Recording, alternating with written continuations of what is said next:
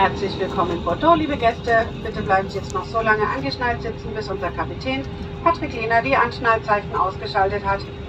Im Namen der Deutschen Lufthansa und Starlines bedanken wir uns bei Ihnen, dass Sie heute unsere Gäste waren.